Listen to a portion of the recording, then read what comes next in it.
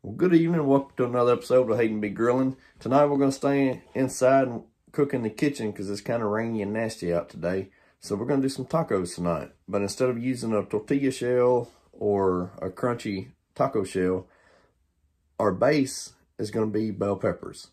Sounds crazy, sounds different, but my wife tagged me in a video here recently and sent it to me. And so it looks really good. So we're going to give us do a try. Let's get after it. The first thing we're going to do with these peppers is we're going to cut them in half and then we're going to remove the seeds out of them. Next, we're going to go ahead and brown our ground beef just like you would any other taco night. All right, so our meat is good and brown. We're going to drain the grease off of it. And I'm going to go ahead and get this going and start boiling some water for the peppers. Now we're going to get this water to a good boil and let it boil for a while because then once our meat's done, we're going to close to done, we're going to take the peppers and submerge them in our water for five minutes. So now that our water is at a good rumbling, tumbling boil here, we're to turn our heat off. Take the pot off the burner. We're to put our peppers in the water. We're to close, cover the lid, and let them sit for five minutes.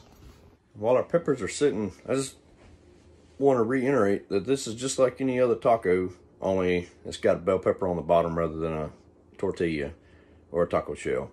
So you doctor it up however you see fit with whatever you like.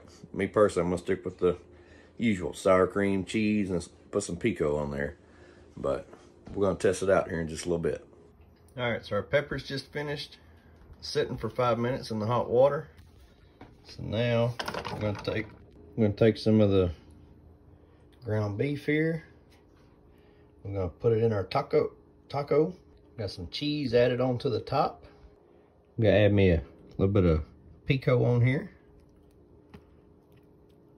Now this pico is store-bought there at Walmart. It's not homemade, but I like Walmart's pico. It's pretty good. Then I'm gonna drop me a dollop of sour cream. And that is it. That's the masterpiece that we created tonight. A taco without a taco shell. So now we're gonna give it that all important taste test.